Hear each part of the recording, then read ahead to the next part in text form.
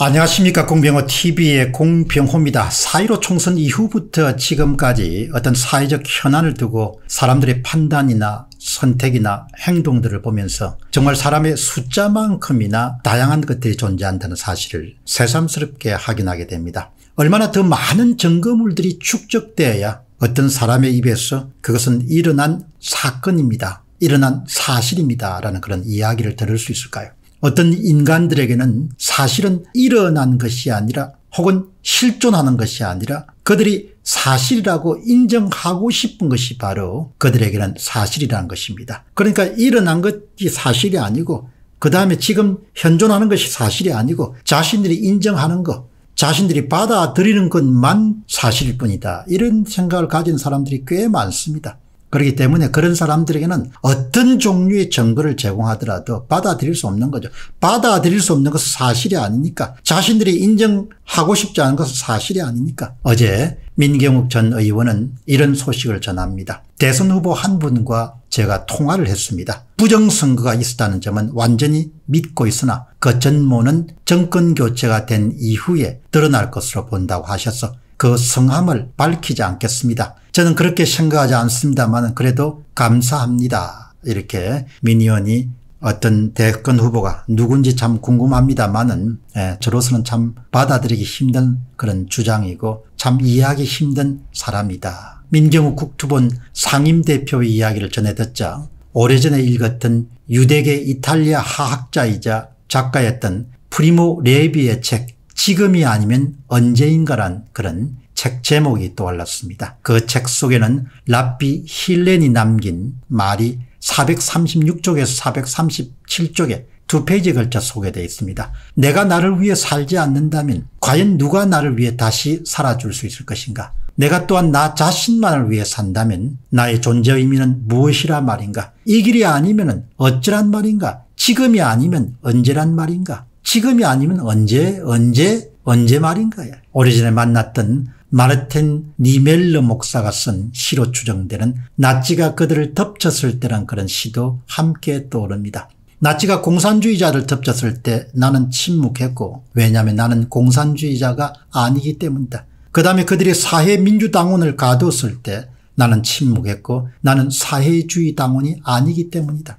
그 다음에 그들이 노동조합원을 덮쳤을 때 나는 아무 말도 하지 않았고 나는 노동조합원이 아니기 때문이다. 그 다음에 그들이 유대인들을 덮쳤을 때 나는 아무 말도 하지 않았다. 나는 유대인이 아니기 때문이다. 마침내 그들이 나에게 닥쳤을 때는 나를 비판하게 덮쳤을 때는 나를 위해 말해줄 이들이 아무도 남아있지 않았다. 민경욱 전 의원이 대화를 나눴다는 대선 후보가 정확히 누구인지는 알 길이 없습니다. 그러나 그가 누구인지 간에 상황 판단 능력이 그 정도라면 그런 지금 당장 대선 후보를 그만두는 것이 좋겠습니다. 상황 판단이 그 정도면 그가 만약 대통령이 될 가능성도 없겠지만 대통령이 되었을 때 국민들 전부를 고생시킬 수 있기 때문입니다. 그 대선 후보의 상황 판단 능력은 평만 촌부의 것보다 훨씬 못하기 때문입니다. 시민제의 씨는 이렇게 말합니다. 4.15 선거는 이익을 위한 부정선거였다면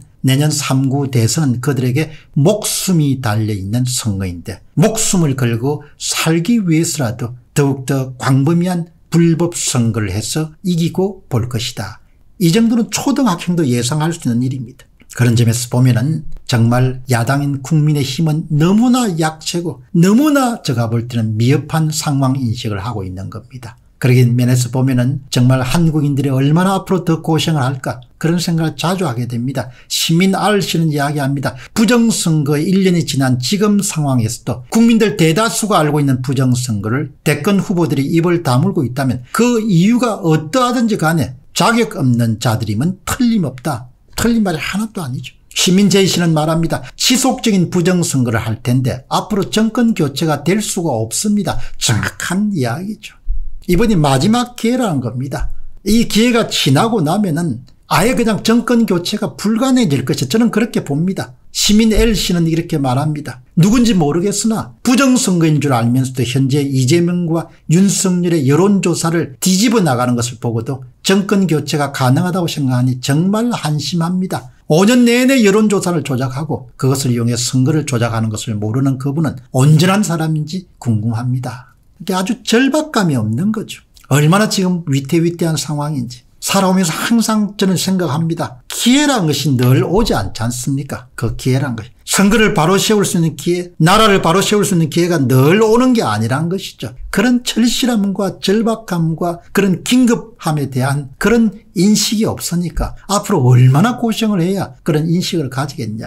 시민 케이시는 이렇게 말합니다. 나라가 공동묘지의 침묵처럼 조용합니다. 참 신비롭습니다. 이 거대한 악, 그 악을 보고도 강아지나 끌어안고 뒹굴지를 않나 느닷없이 애국가를 부르고 있으니 한심하고 모두 다 가짜입니다 이렇게 외치는 겁니다. 이그 악을 보고도 강아지나 끌어안고 뒹굴지를 않나 느닷없이 애국가나 부르고 있으니 한심하고 모두 가짜입니다 이렇게 이야기합니다. 모두 다 가짜인 거죠. 모두가 다 가짜인 겁니다. 경중을 따질 수 없고 선우를 따질 수 없으면 그게 어떻게 지도자가 될 수 있겠습니까? 뭐가 중요한지 뭐가 앞에 해야 되는지를 가릴 수가 없으면 어떻게 지도자가 될 수 있겠습니까? 한 집안의 가장도 선우를 따질 수 있어야 되고 앞일을 내다볼 수 있어야 되는 것이죠. 윤석열이나 최재형이 출마 선언을 할 때 부정선거를 치고 나오기를 기대했는데 전혀 아닌 것을 보고 실망했었습니다. 참 가슴이 답답합니다. 나라가 죽었습니다. 이렇게 시민이 말씀합니다. 옳은 길은 그러면 무엇인가? 현행 선거제도 하에서는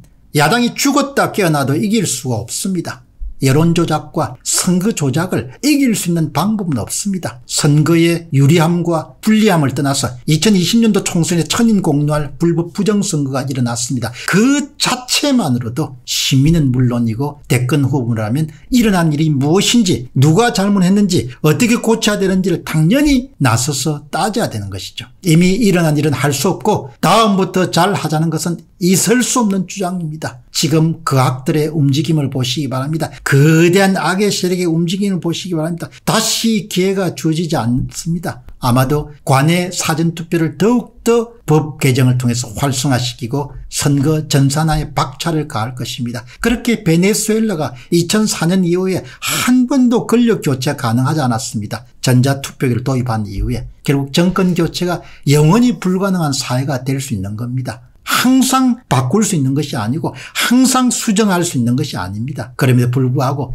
정권 교체 후에나 가능하다는 대권 후보의 아니란 상황 판단은 거의 바닥 수준이고 경악할 수준입니다. 정권이 교체될 수 없는데 어떻게 밝히나 이 친구야 이 머저리 같은 친구야 그런 이야기를 해줄 수 있는 겁니다. 그런 사람은 절대 대권 후보가 되면 안 됩니다. 여러분 이번에 분명히 아셔야 됩니다. 야당 후보들 가운데서 사이로 불법 부정선거에 대해서 쭈삣쭈삣하거나 입장 밝히지 않는 사람들은 그냥 저희들이 제거해야 됩니다. 그 사람들은 될 수가 없습니다. 그 정도의 상황 인식 능력을 가지고 그 정도의 국가관을 가지고 그런 지도자를 뽑을 수가 없고 될 리도 만무한 겁니다. 공병호TV의 공병호였습니다. 감사합니다.